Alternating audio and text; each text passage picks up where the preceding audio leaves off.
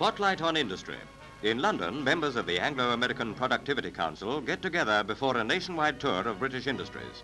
With its aim to increase production on the American pattern, the council hears Sir Frederick Bain, FBI chairman.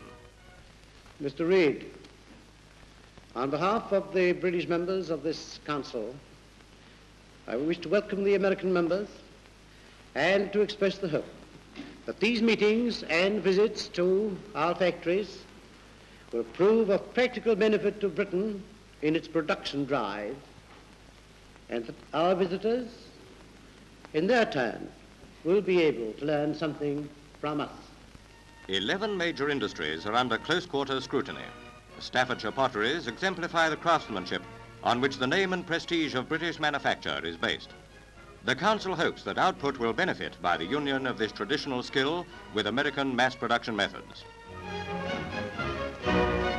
The Council got away to a bad start. Public opinion resented the implication that anything we can do, the Americans can do better. But the tour enables the British worker to demonstrate a skill second to none.